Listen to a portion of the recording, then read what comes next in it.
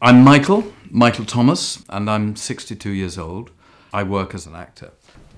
What you do when you come to a new house is to is to kind of test the acoustics.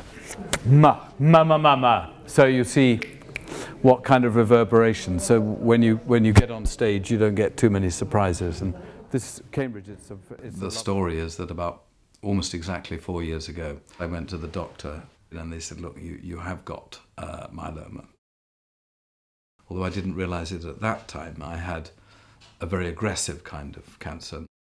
It's quite a gloomy prospect, to be honest. A large proportion of patients die within the first year. They're all dead, really, by 10 or 12 years.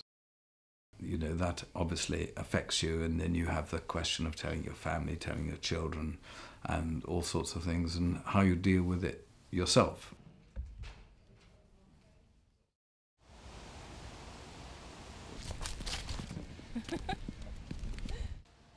My name's Jeremy Bryce. I'm 28 years old. I'm a PhD student at the Geography Department at Oxford University.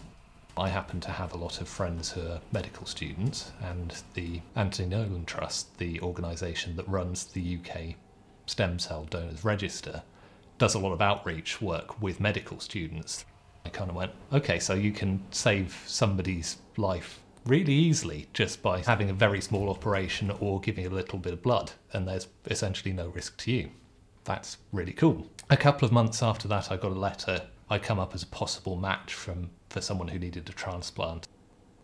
2011 had been quite a difficult year for me. My mum was actually diagnosed with breast cancer. I've just had the better part of a year of having a really, really bad time of it and having watched um, someone who I'm very close to going through this really horrible process of treatment. Somebody's just called me and said, You can potentially, if things go well, make that stop for this person and everyone around them. Yes, of course I want to do it.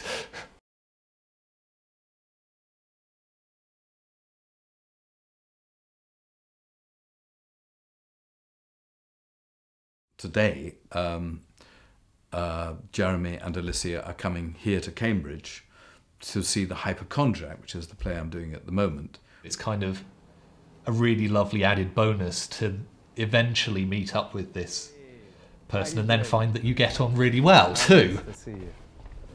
Ah, you too, you too. You got her all It's kind of great to close the circle in that way and um, and sort of finally go, oh wow, gosh. So this is the person and um, and they're great and you know because of this weird thing that happened a couple of years ago, they're still here. Wow.